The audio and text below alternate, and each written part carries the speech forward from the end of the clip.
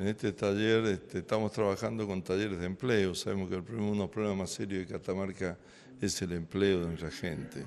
Entonces ya hemos trabajado con el sector tecnológico y ahora estamos trabajando con el sector turismo. ¿Qué, que el turismo, qué, qué necesita el empresario del turismo para generar más empleo?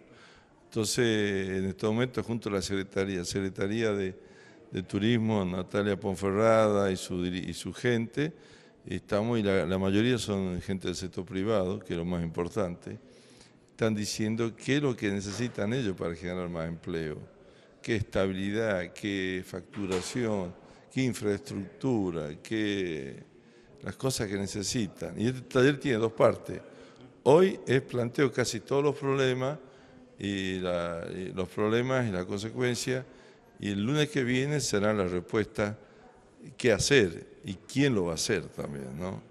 Porque de eso se trata, de llegar a, un acuerdo y como recién decíamos, ¿no? A esto lo vamos a hacer entre nosotros, no, no hay ningún salvador, ningún iluminado que nos va a decir, sí sabemos bien lo que hay que hacer para aprovechar mejor el turismo y desde ahí generar más empleo para nuestros jóvenes catamarqueños, ¿no?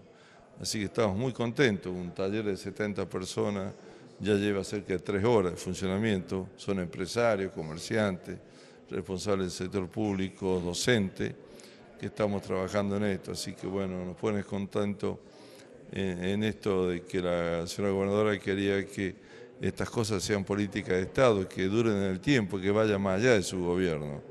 Y ese es el, ese es la relación, la asociatividad que estamos haciendo en el sector. Ojalá que se concrete, ¿no? porque esta búsqueda de potencialidades y por ahí debilidades, y usted en algún momento nos decía en otra entrevista que eh, hay que buscar empleo genuino. Es una cuestión eh, muy importante porque bueno, eh, fue uno de los temas que había planteado también la señora gobernadora. Sí, sí, es el eje. yo creo que esa es una problemática más seria que tenemos en la provincia del empleo joven. Aquí prácticamente hay 8.000 jóvenes que todos los años cumplen 18 años. Bueno, tenemos que pensar en ello. Y esto, esto es pensando en ello.